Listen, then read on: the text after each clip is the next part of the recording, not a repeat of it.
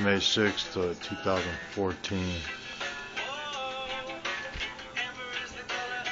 Fine art of uh, Reese Orley.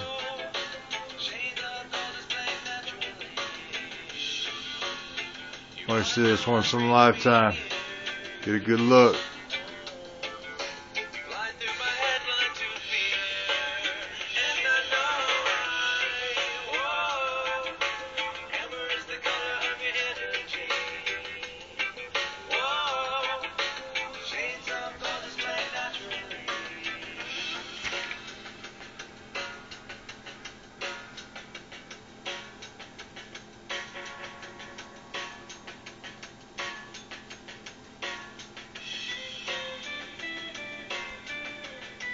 que, que, que